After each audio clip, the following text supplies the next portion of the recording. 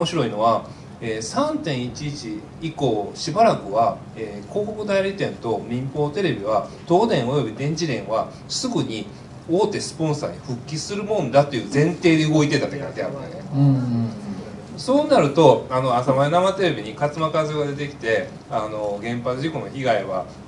課題に評価されてるとか抜け抜けと言ったっていう理由が分かるのよ。分かる。なんであんな全部つながってた。あの悪いけど、うん、言っちゃ悪いけどああいうその悪質なあのことを言う人がキャスティングされてるのがよく分かるんだよね、いやまあそういう人はね原発芸者って言うんですわ。原発芸者、うん、原発芸者原発芸者か。で電波芸者じゃなくて原発芸者。原発芸者。いやいやけどもう今今ああの電波芸者のもっと本質っていうのは原発芸芸者ですよやっぱり、うん、ほんと原子力ぐらいもうこれあかん言うたらほんまみんな仕事なくなんねんから、まあ確かに、うん。いやそれこれがあの今の本当の日本のメディアを取り巻く現実やと思いますよ。多くの人がそう思ってると思いますけれどもね、だからなかなかみんな言わないもんね今の時代になったってさ。いやだからあの大手メディア新聞雑誌民放全部ダメでしょ。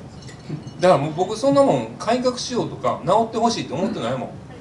彼ら絶望やから。だからこうやってあのみんなと直接話すとかねインターネットで話してあのそれを例えば寄付で補うとかそういうふうなこう順なんて言いますか迂回路を作らないともうだってこんなに一生懸命真面目にやってるジャーナリストたちがさ省かれるんだもん。お金ないんですよ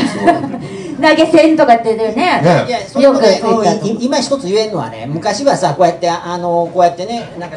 ライブで話したりとかなかなかできなかったですよ、うん、それをね、ね、ネットで中継したりとか、うん、けど今いろんなツールが出てきたから、うん、あのそのなんでねあの原子力村があのすごい力を持ったかっていうのは昔新聞とテレビしかなかったんで、まあ、ラジオと。この3つしかなかったからね。この3つ押さえといたらもう国民コントロールするの簡単やったわけよね。簡単やね。あのその中にいた人間としてはああこういう次第であるのかっていうのよく分かった、